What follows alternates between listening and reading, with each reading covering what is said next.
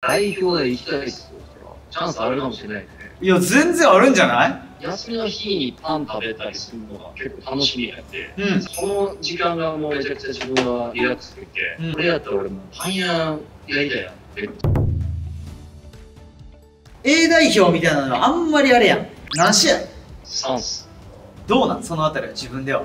いや、悔しいですね、やっぱり。うん。今もね、よく日本代表の試合とか見たりもしますけど、うん。自分ももうちょっと目指して、そこに行きたいって願って頑張ってたら、もっといけたような気もしますし、うん。だから、あの、翔が川崎にいて、代表に行けないかったり行けたりみたいな時に、自分はど、アキさんどうでしたかみたいな感じで聞かれたことあるんですよ。谷口選手ねそうんうんうんその時に俺はもうめちゃくちゃ後悔してる代表に行きたいと、もうそこまで強く思えへんかった。うん。そっからもう大活躍やん。そうです。だから嬉しいですね。フロンターレってその中村健吾イズムみたいなのずっとあるん。やろうけど最近は家長イズムになってん。のかなじゃあいや、ちょっとないでもさあの旗手もさ41番やん。俺も知らなかったです。SNS で知りました。最近でも一番嬉しかったのは、あのうん、ケンヤ君が、うん。あの、秋田で41番。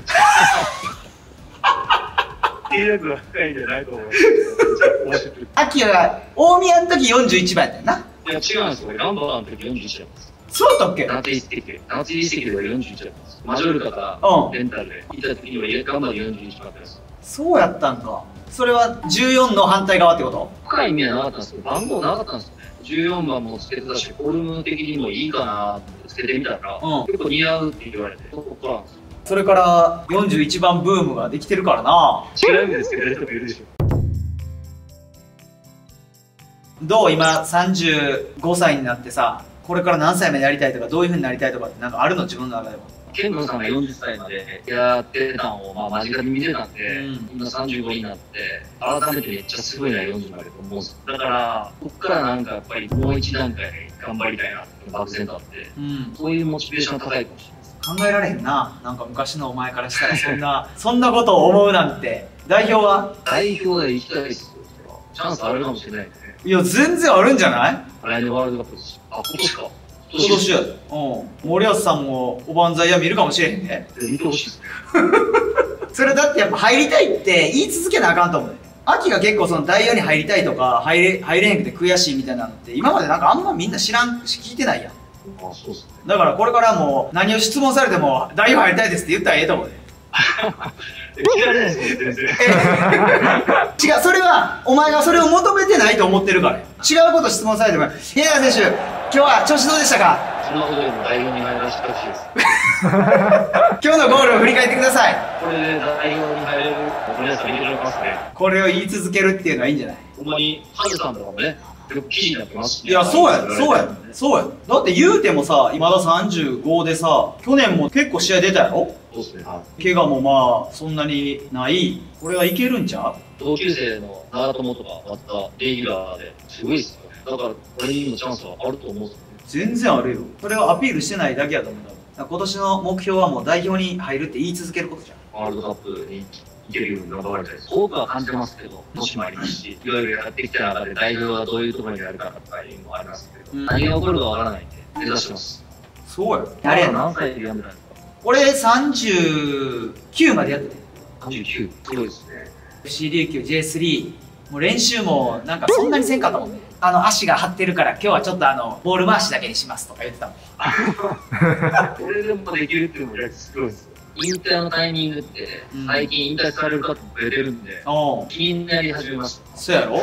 どういうドラマがあって辞める瞬間があるような人によっては違うんで、考える時になってきた。はい。まあ本当、やりたくてもやれない時も来るでしょうし、うん。まあ、いつ訪れるかわからないん。で、まあ、考えますね。40歳ぐらいまではまず健吾のやつを近くで見たからやりたい思いはあるいや、ありますあります。あケンゴさん40歳まで J1 でやりたったじゃないですか。そうやなまあそのハードルってめちゃくちゃ高いんですよね、多分。うんこのハードルを目指したいですね。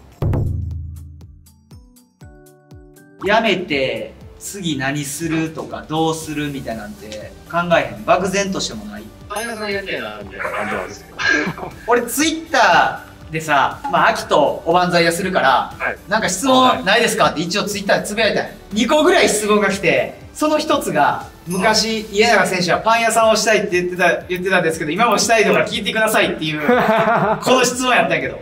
俺パン屋さんしたいんですよ。おおそう。それは何なん？休みの日にパン食べたりするのが結構楽しみになって、うん。最近。あんま普段そんな食べれないんですけど、うん。その時間がもうめちゃくちゃ自分はリラックスできて、うん。これやったら俺もうパン屋やりたいな。めっちゃ2年ぐらいずっと思ってて、パン屋だけやろうかなと思って。現役からやったらええやん。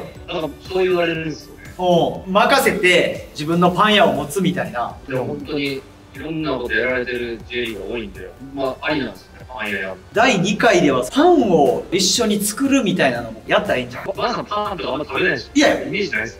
俺朝は今パンやで。あ、マジです。バナナさんそういうパンのイメージなかった。日本人はご飯やろみたいなのはあったな。でも俺パン好きや。あ、もう。すジャパンベーカリーの岸本さんとか言うたらすぐパン屋やってくれそうやけどな。あ、なんかバナナ知り合いるんですかおいるいる。パン屋をやってていろんなそういうところにパン屋を作ってる人がいんねんああ、本当？ですか対岸で。まず対談。パンの深さは俺絶対あんま知ってないけど思ったから、お興味あるんです。話あそうやな。どこでまずパン屋さんをこうするもしするとしたらこれはもう結構重要やで。僕やっぱ関西好きなんですよね。あ関西でやりたいなと思ってるんですけど、京都なのかね生まれ故郷長岡京なのか。京都ですね。ええな京都ええやん。そう考えたらやっぱ、所属チームも多かったんで、所属チームごとにパン屋が出せたら、ええな何チーム行った結局今？大宮、大分、ガンバ、セレッソ、川崎です。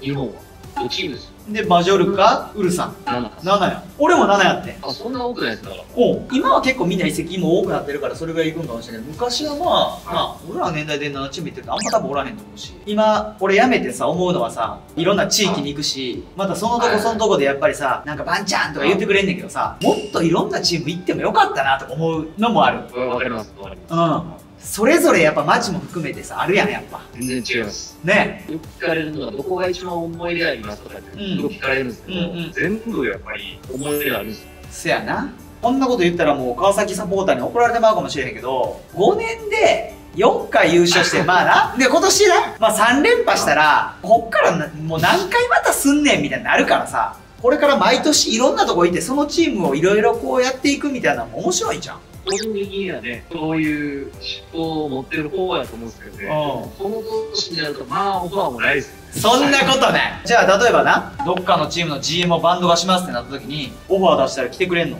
これはもう本当に、お給料いただける。パンで払えばパンで。何期払う。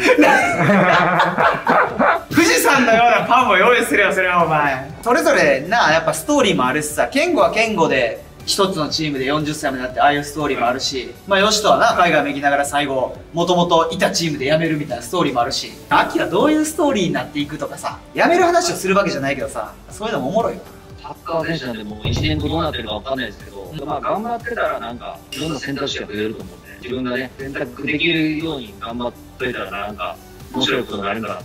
お前がそのどっか行きたいとか言ったらどこでも欲しいと思うで。なんすか。もうパンどれぐらい払わなあかんかによるやろうけどさ。だいぶちょっとパン、払ってない。もうパンはええやろ。A3 で返されて以来喋ったことないってこと？